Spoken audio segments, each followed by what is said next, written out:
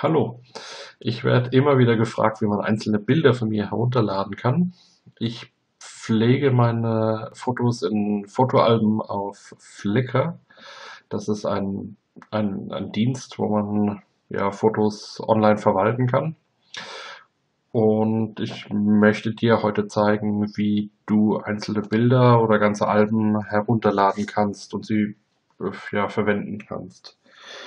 Dazu gehst du in die Suchmaschine deiner Wahl, wie jetzt hier zum Beispiel startpage.de und suchst nach HD Valentin und Fotos oder HD Valentin und Flickr.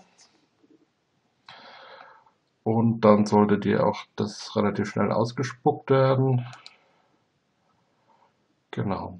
Hier auf der Profilseite kannst du lesen, was zu beachten ist, wenn du, wenn du Bilder von mir verwendest und sie ausdruckst, weitergibst, veröffentlichst, wie auch immer, dass du eben ähm, meinen Namen nennst und die Quelle verlinkst und auch die Lizenz äh, angibst, unter die das Bild veröffentlicht ist. In der Regel ist es, sieht es so aus wie hier. Genau. Meine Fotos findest du in den Alben. Da gibt es hier oben einen Knopf. Da kannst du schauen, welche Alben es gibt. Und wir nehmen jetzt mal das Konzert von Melly Melo.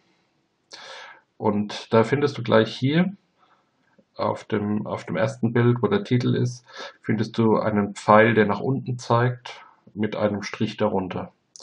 Wenn du hier drauf klickst, bietet dir Flickr an, äh, alle Fotos dieses Albums als eine ZIP-Datei herunterzuladen. Du kannst ihn irgendwo speichern und dann öffnen und da sind dann die ganzen Bilder drin.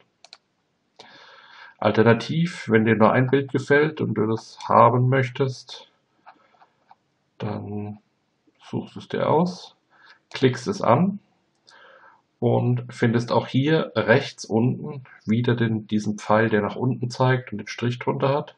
Und wenn du hier drauf klickst, dann bietet äh, Flickr dir verschiedene Größen an. Und wir nehmen jetzt hier das Original und da klickst du drauf und dann siehst du hier in der, in der Leiste unten, dass es direkt schon heruntergeladen hat. Bei manchen Browsern, im Firefox, ist es zum Beispiel ein Pfeil hier rechts oben in der Menüleiste. Genau, und da würdest du es dann auch wieder finden. Alternativ kannst du auch mit der rechten Maustaste draufklicken und sagen Link speichern unter oder Ziel speichern unter. Dann kannst du angeben, wo das Bild als Datei gespeichert werden soll. Ja, ich hoffe, es hat dir gefallen. Falls ja, würde ich mich über ein Like freuen und vielleicht bis bald.